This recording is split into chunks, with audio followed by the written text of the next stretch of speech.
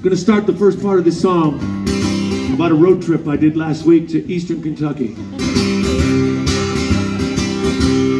Couldn't find a decent bathroom in all of Indiana.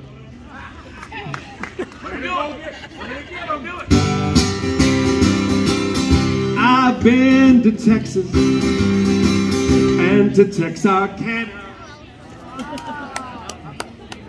The villain in a Batman movie was played by Eric Bana.